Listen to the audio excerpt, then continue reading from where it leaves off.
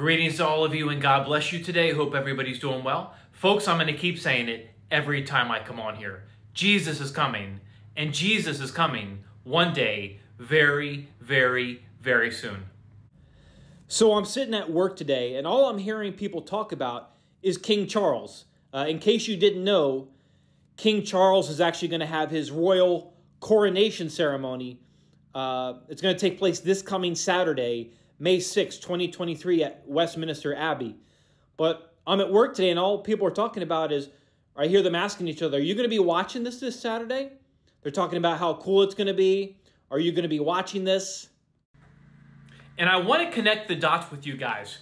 Folks, King Charles is a huge pusher of and promoter of the Great Reset agenda, which is basically where they want to reset the entire world, talk about a new world order. He's a huge supporter of and promoter of Agenda 2030, which is where they want to have a one world government in place by the year 2030. And they actually just recently came out and said they want to accelerate Agenda 2030. Again, the way it's looking now, they're looking to push this thing to Agenda, Agenda 2023 or Agenda 2024.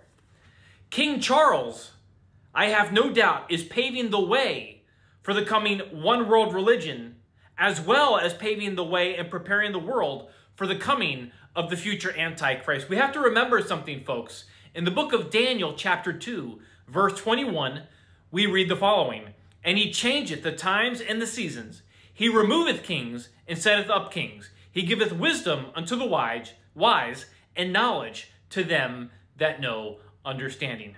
Use wisdom here, folks. King Charles, a promoter of uh, the Great Reset Agenda, uh, Agenda 2030. Just connect the dots, folks. And don't forget, this is the same Charles that spoke about climate action at the COP26 Climate Summit in Glasgow on November 1st, 2021. And listen to, I've done a video on this before, but I want to reiterate what he said. Listen to this. I'm quoting what he said during the COP26 Climate Summit in Glasgow on November 1st, 2021. Quoting here So, ladies and gentlemen, my plea today is for countries to come together to create the environment that enables every sector of industry to take the action required. We know this will take trillions, not billions of dollars. We also know that countries, many of whom are burdened by growing levels of debt, simply cannot afford to go green. Here, we need a vast military style campaign to marshal the strength of the global private sector with trillions at his disposal far beyond global GDP and with the greatest respect beyond even the governments of the world's leaders. But he says, with trillions at his disposal. Who is he referring to, folks? Well, everything he just said in that quote there, it sounds like he's pre preparing the way, paving the way for the coming Antichrist. And I just mentioned that I believe uh, King Charles is also paving the way, a part of paving the way, again, for the coming one world religion. I want to go over this. This is just in from the Times of Israel. King Charles, royal coronation to feature roles for Jewish, Muslim, and Hindu leaders. Let me read some of this to you.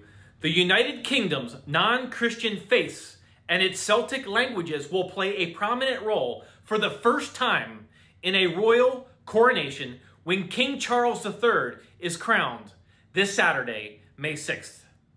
The May 6th service at Westminster Abbey will be overwhelmingly drawn from the Christian liturgy as Charles takes an oath in English to serve as defender of the faith and to protect the established Church of England.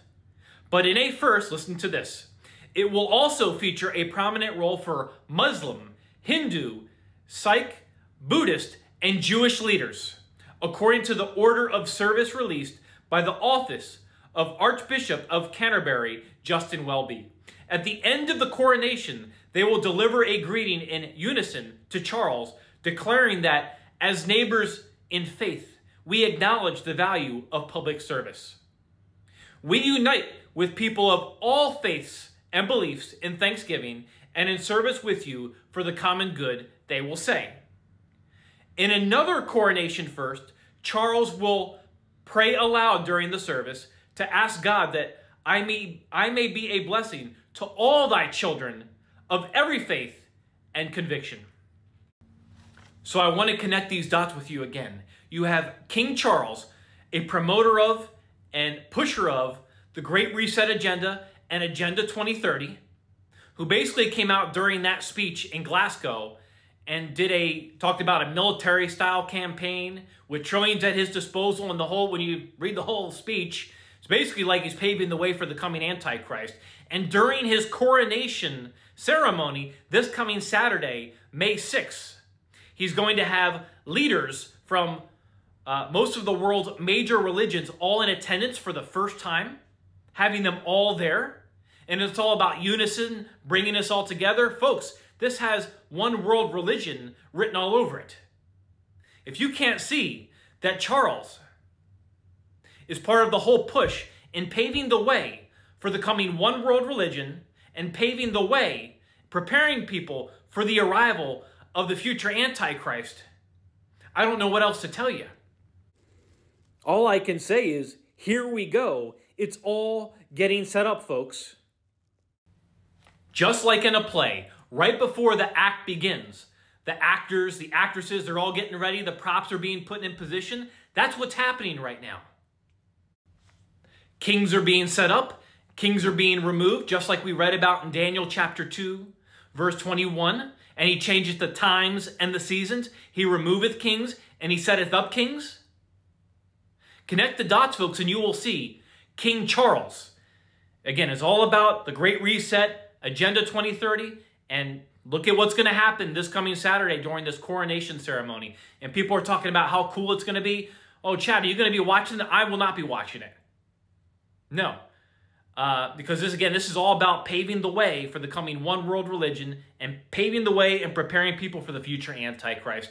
And all I can tell you, if you're watching this video right now and you don't have Jesus Christ in your life, you need to get saved right now. Jesus Christ is the only way to the kingdom of heaven, and he's the only name that can save you. How are you saved? Put your faith and your trust in the blood of Jesus right now. Believe Jesus Christ died on the cross for your sins. The sin that, that you could never pay on your own, Jesus Christ paid it in full with his blood on the cross so you could be reconciled back to him, forgiven of your sins, and be with him forever in heaven. So believe Jesus Christ died on the cross for your sins. He was buried and he rose again. He resurrected on the third day as it is written in the scriptures. The bottom line is this none of us are promised our next breath here. We could die at any time. Heaven and hell are very real, literal places, and you will spend an eternity in one of those destinations. If you do not have Jesus Christ, you will be separated from God for eternity in hell, and I am going to tell you the truth because I love you. Again, Jesus Christ is the only way to the kingdom of heaven, and he's the only name that can save you. So I am begging you, I am imploring you again to put your faith and your trust in the blood of Jesus right now. Believe he died for you, he was buried, and he rose again. He resurrected on the third day as it is written in the scriptures. And do it now because tomorrow is not promised. And make no mistake about it, Jesus is coming, and he's coming one day very, very, very soon. Keep looking up. Keep watching with me. God bless you all.